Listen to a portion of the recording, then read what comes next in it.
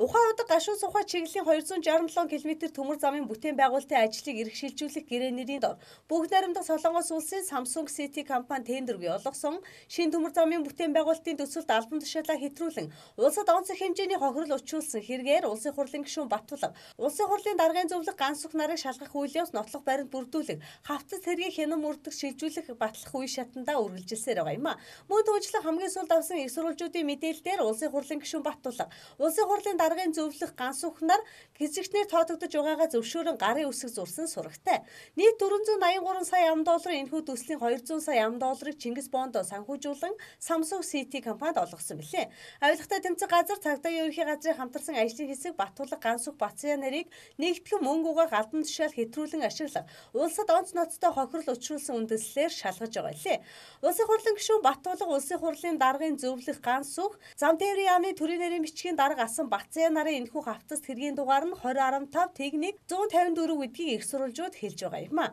Цагдаа ерөнхий газрыг эдийн засгийн гэмт хэрэгтэй тэмцэх хэлтээс ухаан удаг гашуун сухай чиглэлийн 267 км төмөр замын бүтээн байгуулалтын ажлыг эрх шилжүүлэх гэрээ нэрийн дор бүгд найрамдах Солонгос улс Samsung City компани тендергүй олгож мөнгө угаасан хэргийг тусгайлан шалгаж байгаа бол авилгалтай тэмцэх газрын мөрдөн шалгах хэлтээс шин төмөр замын бүтээн байгуулалт хөрс хуулалтын ажлыг батлагдсан зураг төсөлгүйгээр 15 оны 11 сард шууд эхлүүлж улсад онцгой хэмжээний хохирол учруулсан хэрэгээр тус тус мөрдөн шалгах ажиллагаагаа үргэлжлүүлж байгаа юм а. Мөн түнчлэн энэ хэрэгт холбогдсон нэрэн дуурсагдж байгаа KNHR компани Transcom компаниуд тус бүртээ 4.8 тэрбум төгрөгийн хөрс хулалтын ажил гүйцэтгэн улсаас мөнгө авахар шүүхэд хандсан байгаа юм а. Улмаар KJNR компаниас 4.8 тэрбум төгрөг, гэрээний алдан 2.4 тэрбум төгрөгийг 7.2 тэрбум төгрөгийг 2016 онд улсаас авахар болоод байгаа юм а. Агентлуудын нэгтгэх дэд сая төрийн албан хаагчдыг цомгох замаар 1.8 тэрбум төгрөгийн төсөв хэмнээд байгаа Монгол улсын засгийн газарт